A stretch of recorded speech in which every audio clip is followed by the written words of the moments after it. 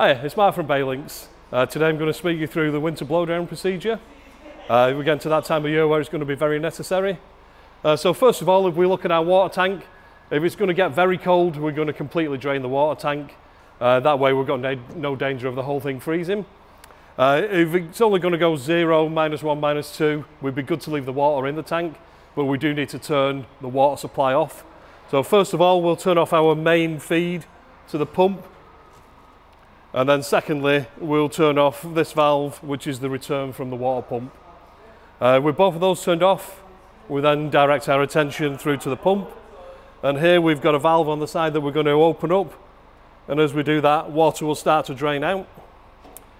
Next, we come across to our air feed. Now this is an air feed taken directly off the air bank. If we open the valve of this, this will then start to blow air into our water system.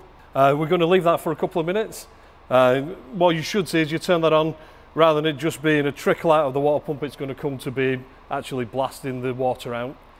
Uh, like I say, while we're on, we could use our hose, we can open the hose up, and that's going to expel any of the water that's in there to prevent the hose from freezing.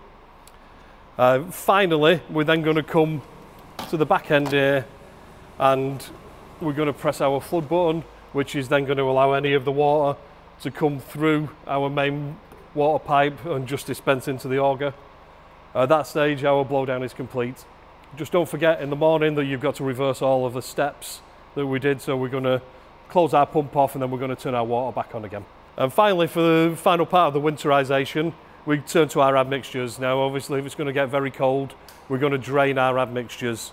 So to do that, if we pull this pipe out, and turn our tap, we can drain into any suitable container.